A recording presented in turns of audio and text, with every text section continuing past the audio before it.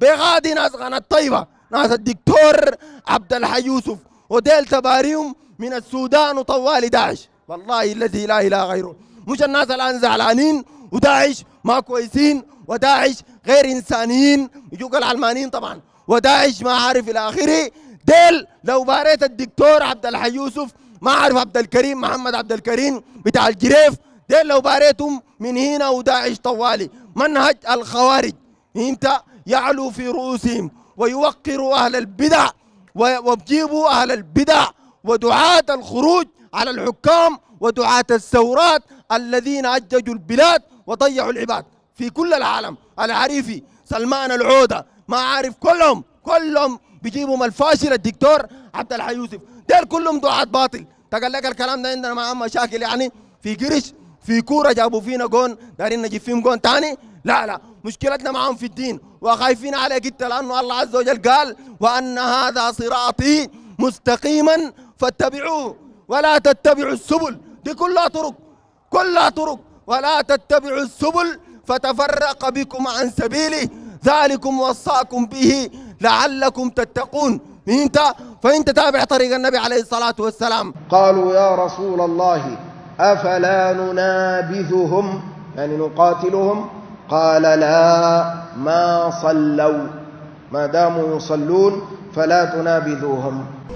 وإنما أمرهم قريب قادر على أن يأخذ هذا السيسي وأعوانه. أسأل الله العظيم رب العرش العظيم ونحن في يوم الجمعة ولعلها ساعة الإجابة أن يأخذه أخذ عزيز مقتدر.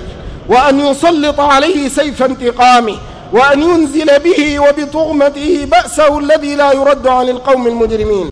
أما عبد الحي يوسف هو المفرخ لفكر داعش. قد يكون هو ما منتمي لداعش تنظيميا. الرئيس البغدادي النائب عبد الحي يوسف بالطريقة دي قد يكون ما معهم. لكن هو له دور عظيم جدا في خروج ناس داعش. والناس الآن بتكورك داعش والناس مشت داعش وفي بنات جرن داعش ونكاح البتاع والك وبتكورك وما بيمسكوا محل ال ال الوجع. الناس ما تبقى صريحة. الناس ما تبقى صريحة. كويس؟ أمشي للمحل بتاع الوجع ذاته. محل الوجع هذا لعبد الحي يوسف ذاته. عنده كتاب الاستبداد السياسي هو عبارة عن رسالة للدكتوراه لما قدمها كده جات لجنة تاع الجبهجية قاعدين. دكتور مين وأستاذ دكتور مين ودكتور مين وأستاذ مين؟ خدت لهم قال لهم يا اخواننا ده البحث بتاعي. ناقشوه لو لقيته غلط وروني ولو صح وروني. وكده وبتاع واجيزوني. ناقشوه وادوه امتياز. ونشروا. وجوا الكتاب ده فيه المنهج بتاع داعش ذاته. اللي بيفرخ داعش. تقرأ تقرأ تقرأ الكتاب بتاع بتاع عبد الحي يوسف بتمرق داعش سوداني تبقى أبو زعموط السوداني. فهمت؟ ذاك أبو بكر البغدادي. فإذا قريت الكتاب بتاعه ده بتمرق داعش. نفس المناهج بتاع داعش موجودة في منهج عبد الحي يوسف. فهمت؟ ده غير إنه عنده حرية الاعتقاد ذاته في في نفس الكتاب. يعني كلام متناقض ذاته. ويزكي سيد قطب الذي يطعن في الأنبياء ويطعن في الصحابة وينكر الاستواء ويعني يقرر عدم الأخذ بأخبار الأحاد ويقول بعقيدة الصوفية. سيد قطب بيمدح عبد الحي يوسف. سيد قطب قال في تفسير سورة الإخلاص وتفسير سورة الواقعة بعقيدة الصوفية بتاعت وحدة الوجود. ها؟ أنا الله والله أنا يخلق الخلق وأفنيهم أنا. فهمت العقيدة دي ذاتها؟ وعقيدة الحلاج ما في الجبة إلا الله.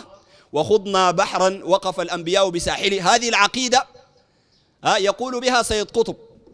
فهمت؟ ويدافع عنه عبد الحي يوسف. فديل يا إخواننا شوف السلف رحمهم الله كما قال محمد بن سيرين قال إن هذا الأمر دين. فانظروا عمن تأخذون دينكم. يا اخواننا زول في في في الدنيا دي في قرايتك الآن يقول لك والله أنا الدكتور ده ما بحضر له لأنه بيلخبط رأسي. وما توزعوني في في المستشفى مع الدكتور الفلاني. وزعوني مع الدكتور الفلاني. ولا ما قاعد يحصل؟ قاعد يحصل. ليه؟ لأنه بيشوف إنه ده قد يضرك. كم كم ما ضرك ما بينفعك. فكيف تأخذ أمر بدخلك جنة أو نار من أي بني آدم؟ أقول أيها الإخوة الكرام جئنا إلى هذا المكان من أجل أن نحقق غاية شرعية. مفادها أننا ندين الله عز وجل بأن قتيل الأمس هو أخونا.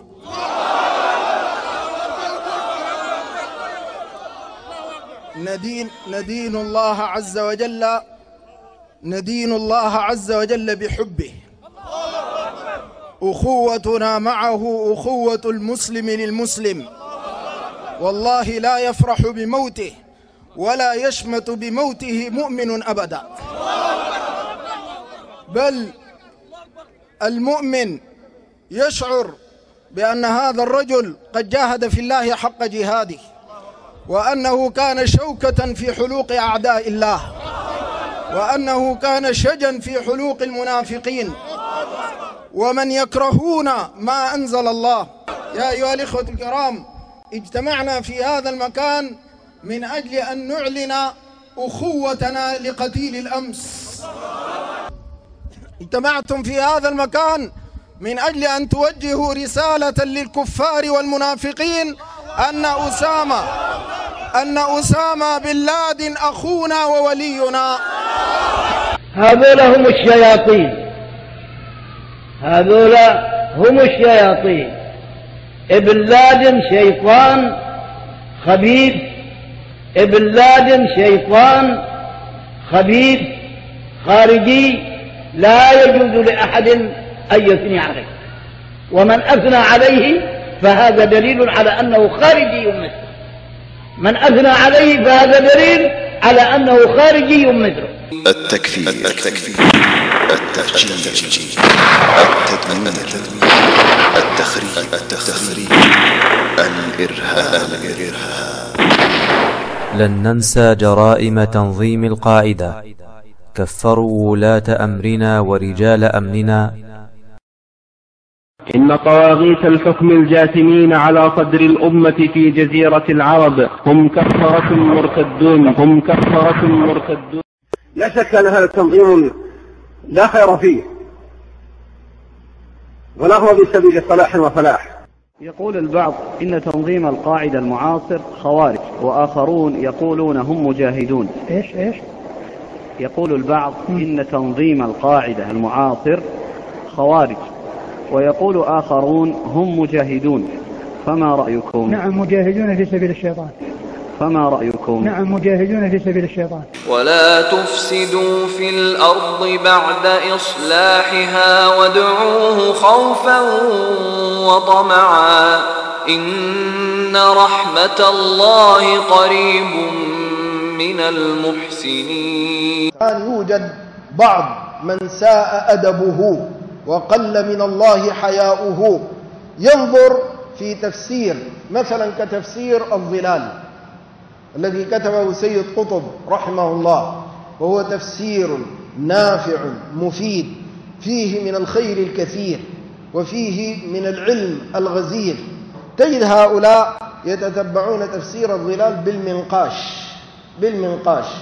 يخرجون ما تأول فيه فأخطأ فيضخمونه ويكبرونه وينفخون فيه ويشيعونه في المجالس ولربما كتبوا في ذلك كتبا وأبدأوا وأعادوا من أجل أن يصوروا أن هذا الرجل الذي فسر القرآن كان رجلا زائغ الملة فاسد المعتقد قبيح الطوية وأنه أخطر على الإسلام من اليهود والنصارى إلى غير ذلك من هذه الأباطيل. وإذا أراد الله نشر فضيلة طويت أتاح لها لسانه حسودي. أي مجتمع مسلم ده مجتمع كافر عند سيد قطب في هذا الكتاب الصفحة 120 في الطبعة طبعة دار الشروق في الصفحة 98 إلى 101 كل الطبعات موجودة عندنا. ويباع الآن في الأسواق المحلية والعالمية هذا الكتاب.